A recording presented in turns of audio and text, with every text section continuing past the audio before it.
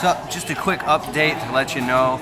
Tomorrow morning, Saturday morning, the 13th, I'll be speaking at 8 a.m. sharp at the Maryland Ballroom. It's Ballroom, Maryland Ballroom 1 and 2. They open up the walls, so they combine both rooms together.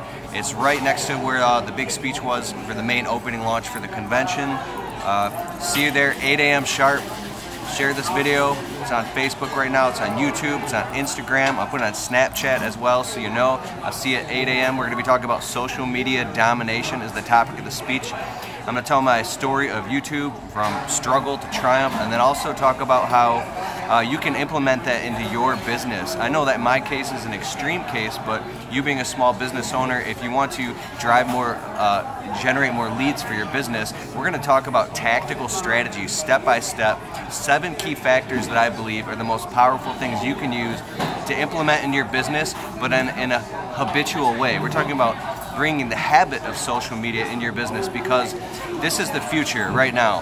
And I know a lot of uh, business owners and those of you that are also successful, we still have a little bit of old school mentality, even if we're in our our 30s or 40s, right? But right now is the time to do it, to start a YouTube channel, start shooting videos at least once a week because in five, six years, this thing is going to be so mainstream that if you don't know, you're going to be completely lost in the mix. So a lot of uh, keys, a lot of tips. I'll be speaking for 45 minutes and then doing 15 minutes of Q&A, and I'll see you tomorrow morning at 8 a.m.